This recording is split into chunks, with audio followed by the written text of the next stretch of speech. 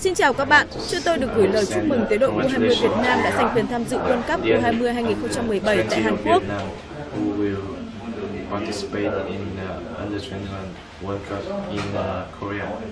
Tôi rất vui mừng khi đội tuyển U20 Việt Nam đã tới với kỳ vọng World Cup U20 lần này.